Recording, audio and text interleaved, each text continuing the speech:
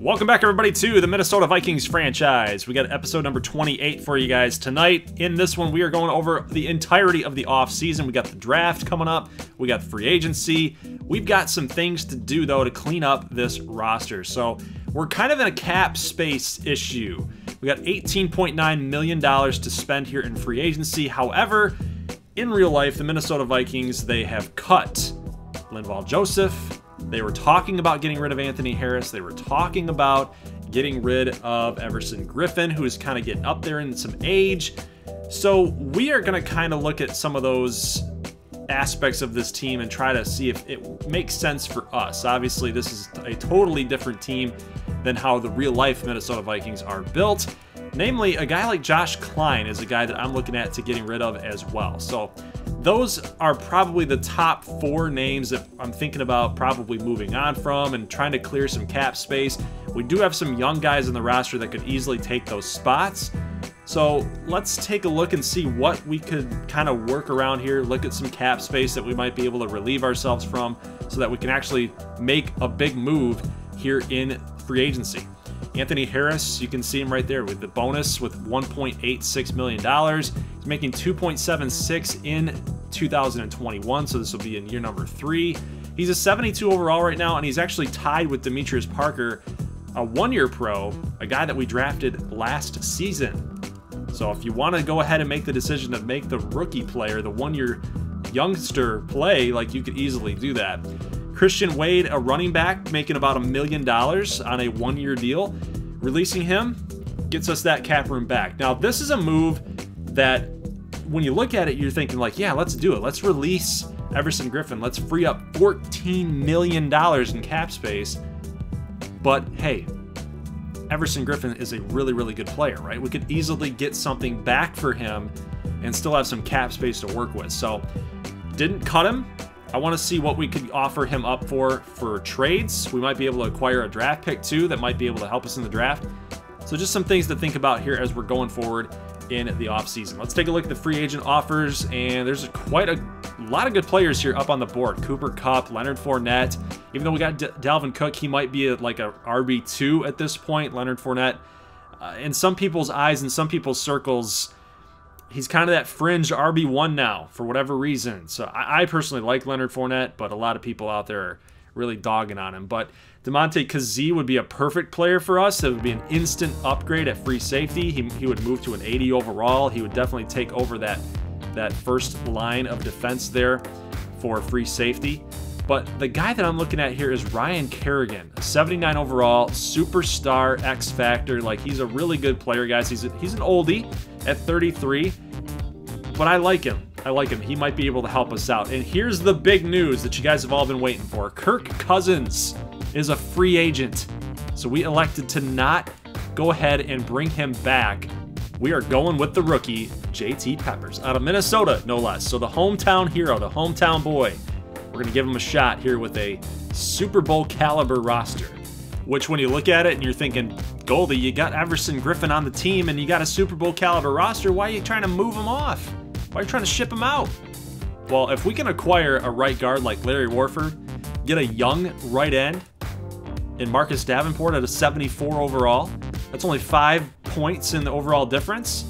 I kind of like that move. I kind of like that move. That would be a winning move especially with how we love to run the football at Dalvin Cook. That would be a great move, especially with a rookie or a one year pro at quarterback, JT Peppers.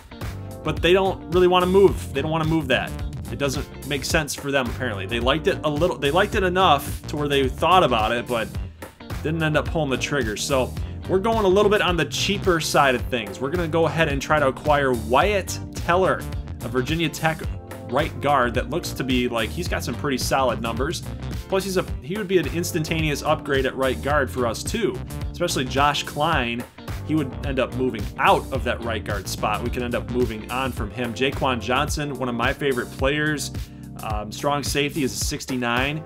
We threw him into the deal, and we basically swapped draft picks in the fourth round. So we traded our 126th for the 125th. So we got a one spot difference there. So we basically plus one on our draft pick order. which makes sense. So we got rid of Everson Griffen, we acquired some cap space, which was all good, and we got our starting right guard, who's going to be pretty solid too. Some free agent offers. We're going to try to acquire Solomon Thomas, a good player out of Stanford, and he's got a lot of interest between Buffalo and New England. But we're going to try to outbid both of those teams in order to try to acquire Solomon Thomas. We offered Ryan Kerrigan a deal here. You guys can see that up on the board. So we're trying to look at some linebackers here. But you can see it $23.3 million in cap space. I want Ryan Kerrigan. I, just, I think he would be great for this team. Let's take a look at some free safeties, some cornerbacks. I mean, cornerback has always been a position of need for us ever since Xavier Rhodes got traded, got moved on from. Bradley Roby would be a nice little addition here, especially with that superstar X factor. But uh, we're going to try to address cornerback in the draft. I think if we can acquire a young guy, that might make more sense than trying to overpay for a veteran cornerback. But John Ross, he was great. John Ross was great in that Cincinnati Bengals franchise in Madden 19. So you know what? I want John Ross on this offense. I think we're going to give JT Peppers some more targets in that offense. We got Dalvin Cook. We're going to have Diggs, Thielen, Hardman. Like, this offense is going to explode under JT Peppers, guys. So I'm really looking forward to this season. So there's our three offers. We've now got knocked down to 12.5 in cap space if all of these moves go through. And I'm hoping that they do. So let's go ahead and simulate and see what happens. Drum roll, please. We got John Ross. We got John Ross. However, we are in week three of the offseason. So I'm going to go over the roster. And spoiler, we got both of them. We got both of them. So we got John Ross, we got Solomon Thomas, we got Ryan Kerrigan. We got all three of our targets here in free agency. And just and what's great about this is that it all happened because of and thanks to the trade of Everson Griffen. We freed up all that cap space. We got three play, basically four players, just by getting rid of Everson Griffen. It makes sense for us, guys. Wyatt Teller, our new starting right guard, got a lot of strength, got good run blocking numbers, got good pass blocking numbers. He's going to be good for us in this run heavy style of offense, which actually might be changing too, by the way, which might be changing simply because JT Peppers can run the football a little bit. He's got some mobility to him where Kirk did not. Right? So this offense is now going to be a little bit more dynamic. I think this is just going to be overall just a winning offseason, a winning move for us in year number three. Looking at the cornerbacks, again, we are definitely going to be looking at cornerback in the draft. Got some veterans here 27 years old, 24, 24, Hughes, Mackensie Alexander up there. So we got some pretty good cornerbacks on this team, but again, I think we could do a little bit better. Strong safety. Got some depth here with Jaquan Johnson and Thomas. I'm liking where we're at. I think we're good. I'm not looking to trade away Anthony Harris any longer because now we've actually solved some of our holes on the team. I think keeping Anthony Harris and just kind of allowing Demetrius Parker just to sit back there, get put into situations that he might succeed at would be just good for his development. So we'll just continue to monitor and see how Anthony Harris plays. Taking a look at the draft board. So who is available to get drafted? We are looking at defensive tackles. That's kind of my number one target here is defensive tackle. And mostly because Linval Joseph is just like, he's just getting up there in age, guys. And looking at a guy like Jordan Williams out of Clemson, big guy, six foot four, would be a nice target. He's not the biggest defensive tackle, even though he is in that archetype of a run stopper. There's a couple other guys that are really bigger that can just clog that hole. Kind of like this guy, Tonga, 6'4", 341 out of BYU. Love this guy. Love this guy. So I hope that this guy falls to us here in the fourth round because if he does, I'm going to take him. Josh Kline will get traded to, to the Chicago Bears. Kind of a weird trade there. I never usually like to trade away pieces to in division rivals, but they were literally the only team that wanted them. So you know what? I'm like, hey, if if I'm adding to your cap space, I'm fine with that. Take this guy off our hands here. All right, taking a look at the top 100 players in league signings. Taywan Taylor, one of my favorite wide receivers, going to go to the New England Patriots, and you guys will notice a recurring theme here. The Patriots were super active in free agency. Just a couple names that you can see here, right? Kirk Cousins is going to be a New England Patriot. So Tom Brady is gone. Kirk Cousins was basically released by us, and he's going to go on over to New England to try to win a Super Bowl. And did you guys see that? Did you guys see that? The Ndamukong Suh is now a Patriot, right? It's kind of weird, kind of weird. So he's out in Tampa Bay in real life with Brady. Brady leaves the Patriots in this simulation, in this series, and then he goes to Brady's former team. So just kind of kind of a weird little dynamic there. Taking a look at those Patriots. Take a look at this roster, guys. Is anything really different from the Patriots compared to the Vikings? You know, now that Kirk Cousins is at quarterback. Wide receivers are pretty decent, right? N'Keal Harry, Taywan Taylor, Braxton Berrios, Josh Gordon's up there. I, I mean, we've got better receivers for sure. Our tight end's better. Ryan Izzo, left tackle Isaiah Wynn. Our guards are better, I feel like. Left tackle, there's Isaiah Wynn right there. Ryan Izzo, we talked about him. Emil Kjeldsen, custom prospect. Now, the offensive line is definitely better for New England. So it, it really does fit Kirk Cousins. And I'm just updating you guys on the Patriots here because they were so active in free agency. And we got to kind of like keep it in the back of our mind, guys, of how Kirk Cousins is going to perform for New England this season. I think he's going to do fine. I think he's going to have maybe even a better year than he did with Minnesota. But it's kind of because they have a little bit better of a roster, just a little bit, now that we're looking at the defense, right? All right, let's get into the actual draft. Now, guys, we are picking 30th. Yep, we're picking 30th because we made it all the way to the NFC Championship game. I'm to go ahead and just advance to next pick. So there's a lot of custom prospects in this. And as we see Trevor Lawrence going to the Washington Redskins, which is kind of kind of funny in my mind because they must not have a lot of faith in Dwayne Haskins. And um, you know, I guess, but then again, I guess when you're that bad with Dwayne Haskins and there sits Trevor Lawrence, you're probably taking Trevor Lawrence, guys. So let's get back into the draft board here. We got Justyn Ross. Now, keep in mind that some of these guys, obviously, with this draft class and with how our series was timed up, Obviously, a lot of these guys in the pros now that ended up getting drafted in real life, like Antoine Winfield Jr. got drafted in real life. He would not have been in this draft in this draft class because at the time we didn't know who was declaring and who wasn't, right?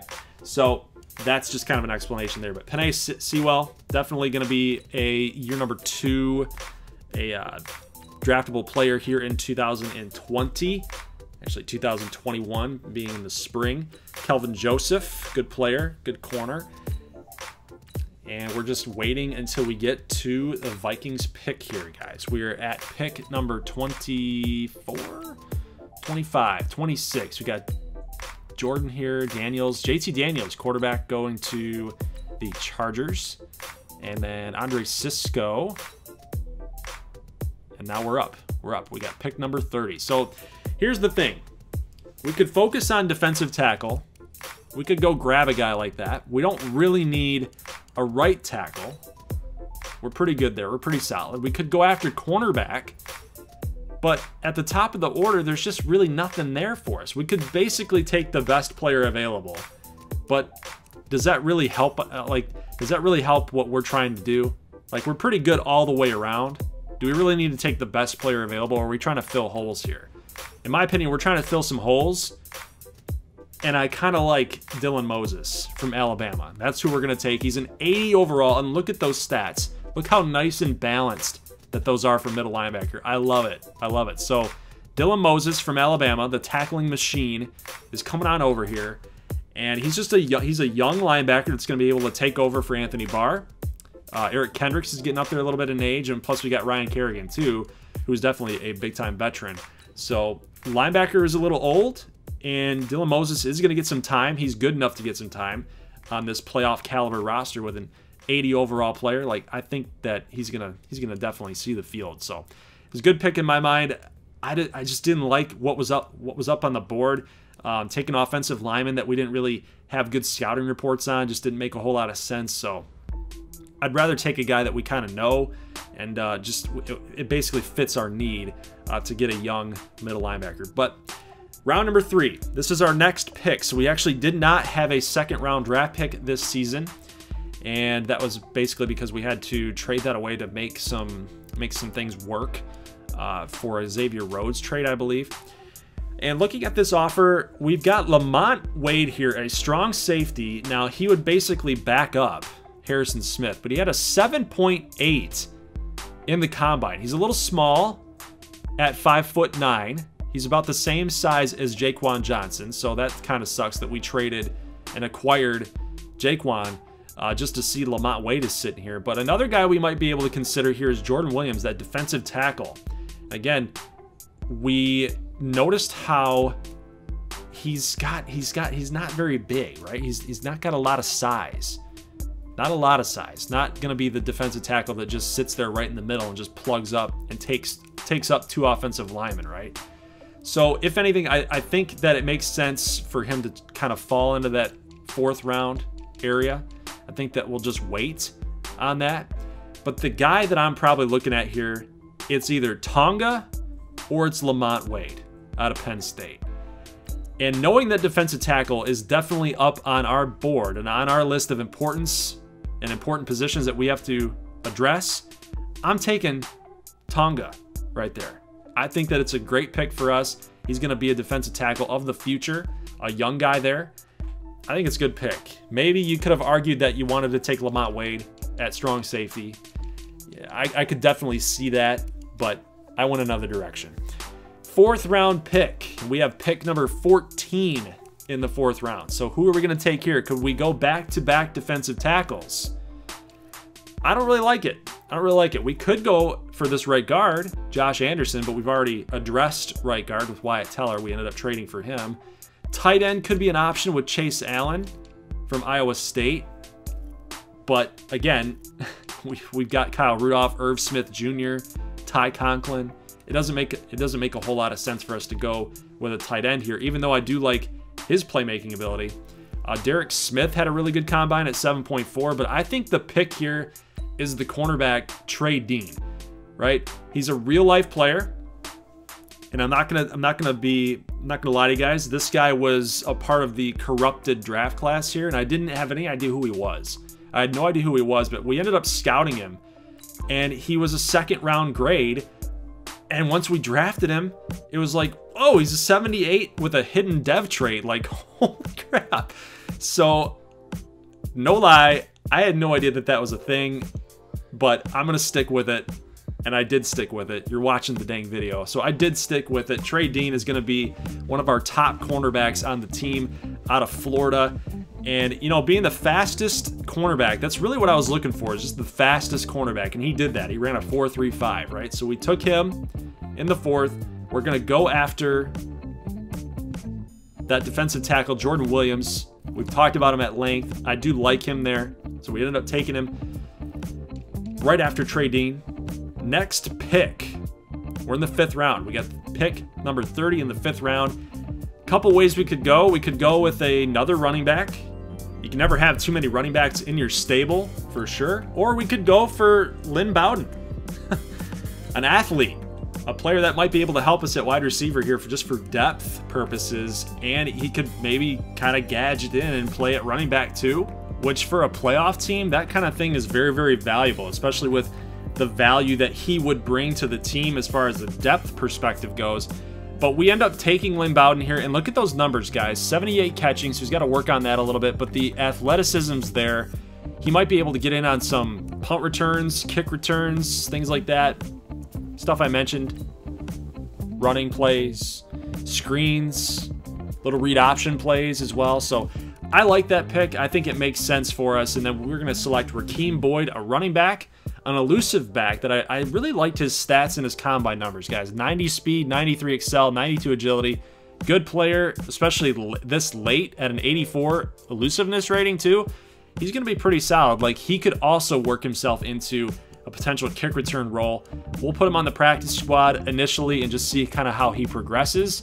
But that normal dev trait, you knew that was going to happen there with a late a late round draft pick. So there's our draft, guys. One, three, two fours, a five, and a six. I personally love it. I love it. We got Dylan Moses, we got Tonga, so we solved the defensive tackle issue, especially with Jordan Williams there too. Trey Dean was a perfect pick at cornerback, and then we also acquired Lynn Bowden and Rakeem Boyd. So I think that we solved a lot of our areas of need on the team, and I'm really happy about it. I'm really happy about this offseason. It's a lot better an offseason, no lie. It's a lot better of an offseason than in year number two. That's why I don't do these things live streams, guys, because you know, you can screw up and you can screw up pretty bad. you can screw up pretty bad in live streams. Now, I'm probably going to regret this pick. Missing out on Lamont Wade. He's an 80. He's an 80. So you want to talk about like the perfect replacement for Harrison Smith once he's long gone? That would have been it. That would have been the pick there. But I'm going to leave you guys with this screen. I have a Excel file listed out of all of the custom prospects and where they went. So who drafted whom and I'm going to be working on that actually while you guys are probably watching this for sure. Uh, but that will be completed by the end of this video, and um, I just want you guys to be able to keep track of where players are going and where that they've been, especially because I know that you guys are really wondering about where your custom prospect went. You want to know you know what your what your draft stock looked like, where you were taken, what your overall was, and uh, what your outlook is for playing time too with that team. Of course, the more seasons that we go on with this, it's it gets to a point where it's not really possible to just look at every single custom prospect's stats. So if they're actually doing something, if they're doing something significant, you're just going to run into it. You're just going to find it. You're going to see it. Say, oh, my guy's got seven touchdowns on the season, blah, blah, blah. So that's it. That's all I got for you guys tonight. Hope you guys liked the off season this season. Year three was a lot better than year two, I feel like. Let me know in the comment section below what maybe you would have done differently. Are there certain players that you thought I should have taken that I didn't? Um, just so I kind of have an idea, maybe when that player does come by in a few off seasons, we might be able to sign him, right? That's it. That's all I got. Leave a like if you like this thing. I will catch you guys in the next one next week. As always, Skol Vikings and peace.